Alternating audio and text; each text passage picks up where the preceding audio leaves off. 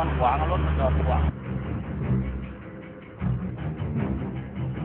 ลักษณะการเผารถ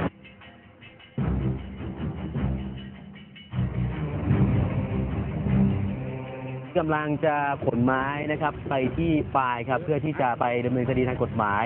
แต่ว่าทางเจ้าหน้าที่ที่กำลังนั่งรถอยู่กับเราในขณะนี้ก็บอกว่าสภาพพื้นที่เหล่านี้นะฮะเกิดเหตุการณ์หลายครั้งครับที่มีการดักซุ่มยิงครับฉะนั้น ต้องระวังตัวเป็นพิเศษเป็นอย่างมากครับ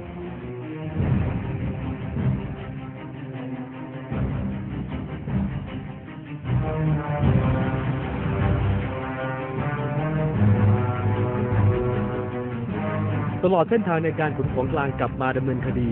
เจ้าหน้าที่ต้องตื่นตัวตลอดเวลา เพราะเคยมีประสบการณ์ ถูกกระบวนการมอดไม้จากซุ่มยิงมาแล้ว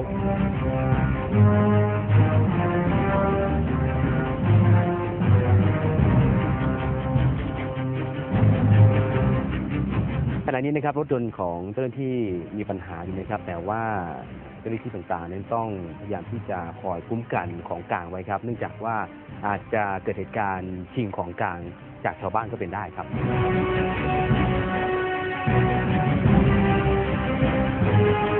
ในที่สุดเจ้าหน้าที่ก็สามารถนำของกลางที่จะใช้เป็นหลักฐาน เอาผิดกับกระบวนการมอดไม้ กลับมาถึงศูนย์ปฏิบัติการชั่วคราวได้อย่างปลอดภัย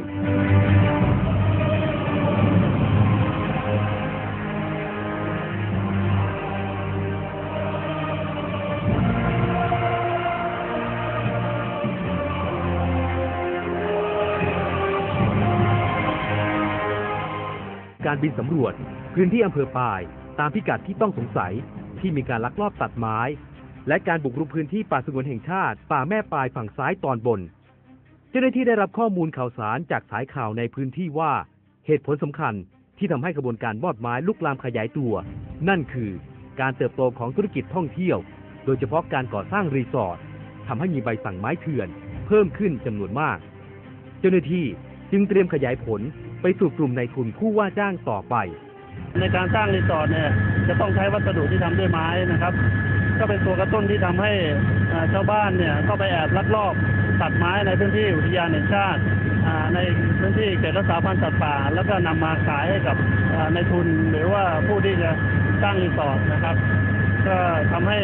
ปัญหาของการบุกรุกเนี่ยค่อยๆขยายวงมากขึ้น จากภาพมุมสูง เจ้าหน้าที่บอกกับทีมข่าวประเด็นเด็ดว่า ปีนี้มีรีสอร์ทสร้างใหม่ถึง 300 หลัง ซึ่งเจ้าหน้าที่กำลังตรวจสอบว่ารีสอร์ทไหน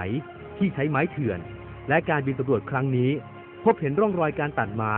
และแปรรูปไม้ในอำเภอปางมาผ้าอีกด้วย ซึ่งเจ้าหน้าที่